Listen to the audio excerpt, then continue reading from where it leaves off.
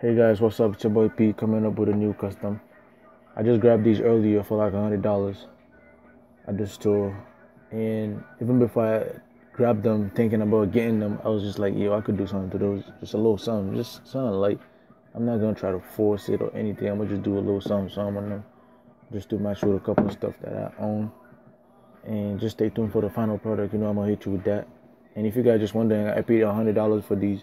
So if you want to go ahead and get those and bring them for me to do whatever you want me to do with them, you're gonna have to go and buy them for hundred dollars, and I'll bless you.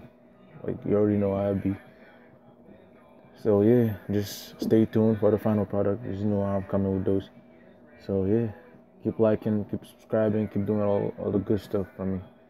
And hey, thank you for the support. All right, I'm out.